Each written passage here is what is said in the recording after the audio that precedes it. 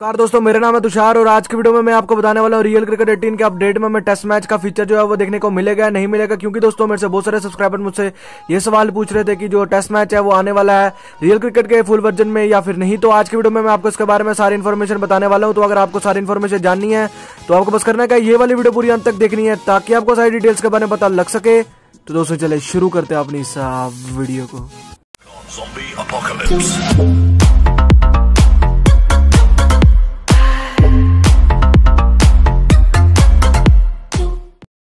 तो वीडियो को स्टार्ट करने से पहले बता दूँ कि अगर आपने मेरे चैनल को अभी तक सब्सक्राइब नहीं किया है तो जल्दी से मेरे चैनल को सब्सक्राइब कर दीजिए, क्योंकि मैं आपके लिए ऐसी लेटेस्ट गेमिंग वीडियोस लाता रहता हूँ।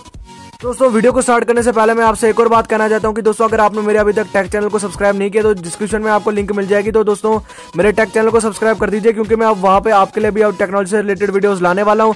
तो दोस्तों, बहुत इंटरेस्टिंग वीडियोज़ मैं वहाँ पे अपलोड करने वाला हूँ, एक या दो दिन के अंदर अंदर तो दोस्तों, आपको बस करना क्या है चैनल को सब्सक्राइब कर दीजिए। और हम बात कर लेते हैं रियल क्रिकेट एटीन के अपडेट के बारे में टेस्ट मैच का जो अपडेट है, वो होगा या नहीं होगा।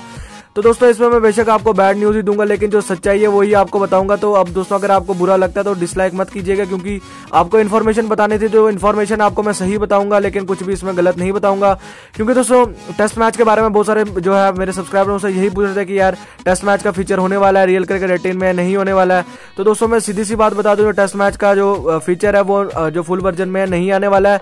क्योंकि दोस्तों, ऐसी कोई अनाउंसमेंट अभी तक कुछ नहीं की है रियल क्रिकेट एटीन ने, यानी कि रियल क्रिकेट एटीन जो इनके डेवलपर्स है नोटिलेस मोबाइल तो उन्होंने ऐसी कोई भी एक जो है अनाउंसमेंट नहीं किया कि टेस्ट जो टेस्ट मैच का जो फीचर वो आने वाला है।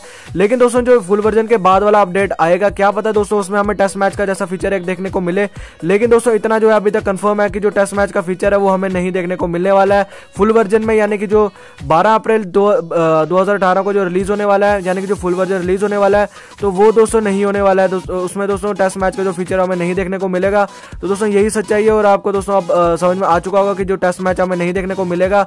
लेकिन दोस्तों, हमें जो नए फुल वर्जन में जो है हमें जिसमें प्रीमियर लीग थी, वो हमें देखने को मिलेगी। इसका टूर्नामेंट जो था आईपीएल का, वो हमें देखने को मिलेगा। और साथ ही साथ उसमें हमें ऑप्शन का भी एक अपडेट देखने को मिलेगा, जो कि दोस्तों हमें थ्री में देखने को मिल रहा है। और दोस्तों, उस ऑप्शन के अपडेट है जो है, ये गेम दोस्तों, बहुत सारी गेम्स को बीट कर लेगी। वो भी बहुत ही आसानी से।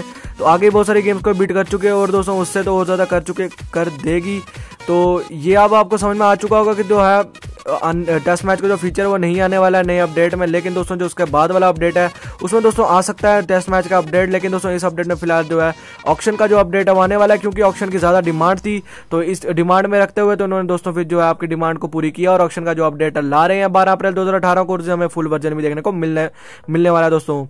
तो दोस्तों, आशा करूँगा आपको मेरे वीडियो में सब कुछ समझ आ चुका अगर आपको मेरे वीडियो में सब कुछ समझ आ चुका है ज़रूर से वीडियो को लाइक कर दीजिएगा, साथ ही साथ शेयर भी कर दीजिएगा इस वीडियो को अपने फ्रेंड्स के साथ में, ताकि जो डाउट है उनके मन में भी रियल क्रिकेट एटीन में, जो टेस्ट मैच का फीचर है, नई अपडेट में आने वाला, नहीं आने वाला, उनके भी वो क्लियर हो जाए, और साथ ही साथ दोस्तों चैनल को सब्सक्राइब कर दीजिएगा। साथ दोस्तों, मेरे टैग चैनल को भी सब्सक्राइब कर दीजिएगा, और दोस्तों, मेरा नाम है तुषार, मिलता अगली वीडियो में तक तक ले जय हिंद, वंदे मातरम।